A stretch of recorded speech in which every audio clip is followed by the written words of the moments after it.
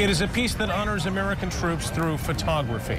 Documentary photographer and Ludington native Ryan Spencer Reed spent nearly 13 months with the 101st Airborne, the Band of Brothers. While he was allowed access that few have ever had, he was carefully monitored and restricted in his photography, and it was those restrictions that really informed his exhibition. 24-hour News 8 Steve Kelso spent some time with the artist today.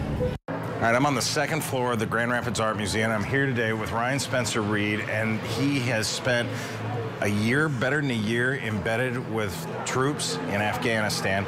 Tell us about the name of your piece and, and why it's called that.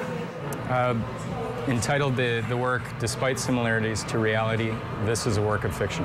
And uh, it's a, an homage to the fact that you know, we, as uh, the electorate, having 99% of us not doing the heavy lifting of these wars, really have no concept of, you know, of the true cost of war. And it's probably about 180 soldiers on this flight. Um, it's coming into Afghanistan, and one of the ways you know that is, um, you know, without, without reading the caption, is that not a single soldier is interacting with another.